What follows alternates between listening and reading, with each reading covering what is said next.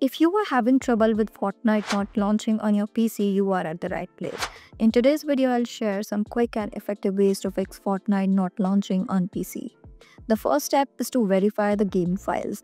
This process checks your installed Fortnite files and replaces any corrupted or missing ones.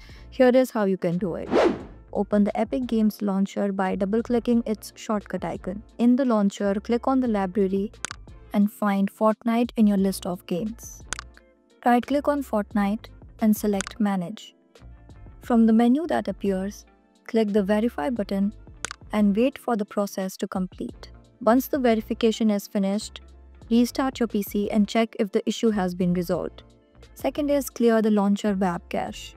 Clearing the web cache in the Epic Games launcher can help resolve this problem. Exit the Epic Games launcher and restart your PC to ensure a fresh start. Press Windows plus R to open the Run dialog box. Then type percent %local app data percent and hit enter. A folder will open here. Find and open the Epic Games folder. Inside the Epic Games folder, locate and open the saved folder. Find the web cache folder, right-click on it, and select Delete. After deleting the web cache folder, restart your computer again and check if the Fortnite launch issue is resolved. Next is Update Graphics Driver. If the graphics drivers are outdated or corrupted, it can cause issues like Fortnite not launching. Here is a simple way to update your drivers automatically using Advanced Driver Updater.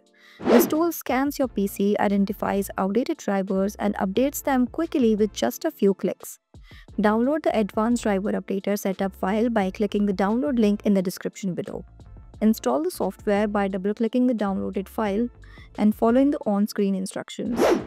Once installed, launch the application and click on Start Scan Now to begin scanning for outdated drivers. The program will display a list of drivers that need updating. Look for your graphics driver in the list. Click Update next to the graphics driver to initiate the update process.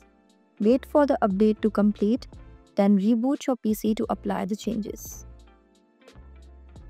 Reinstalling the game. It sounds drastic, but it's a surefire way to fix deeper issues. Close unnecessary background apps like Discord or Chrome, they eat up resources. Restart your PC. I know it's cliche, but it works more often than you would think. Check your internet. A bad connection can stop Fortnite before it even starts. So that's it. I hope these methods will help you resolve your problem. If you have any questions or doubts, drop them in the comments. And don't forget to like, share and subscribe.